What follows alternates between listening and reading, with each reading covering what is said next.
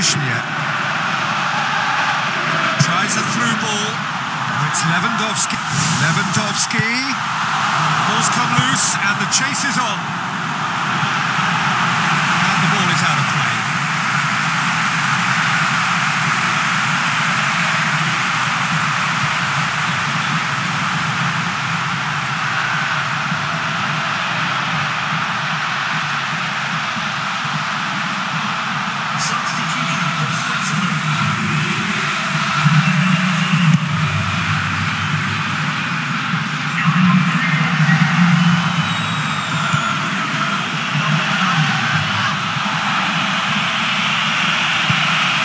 Rosicki looking for options.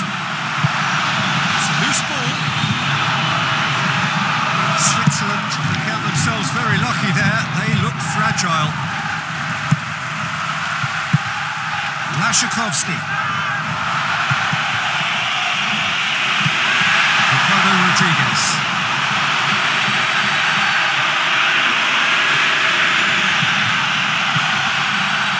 Good interception.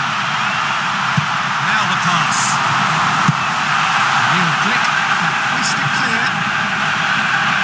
Poland have a sub ready to come on. Well, for me, this was the obvious substitution. He'd become just a little jaded, and as a result of that, he was most likely to make a mistake. I think sometimes when the body becomes tired, the brain goes with it. I think that's happened in this case. It's long and forward. Aim forward.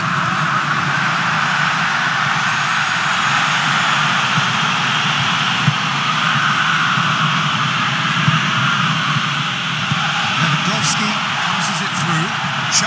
To. Loose ball. Who's going to get there? Looking desperate here. Short on time and options. They have to commit numbers forward and give themselves something to attack.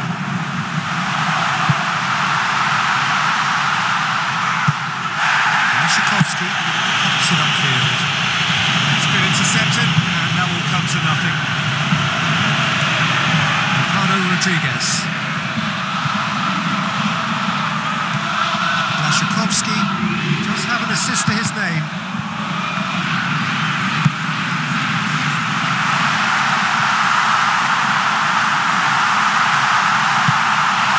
Plays it out of harm's way. Be a change here.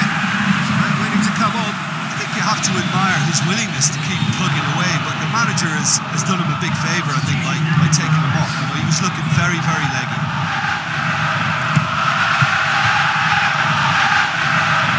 And that's out of reach.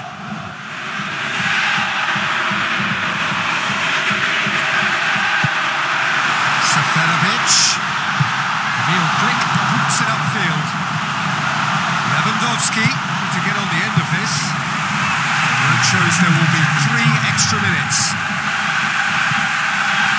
Rami.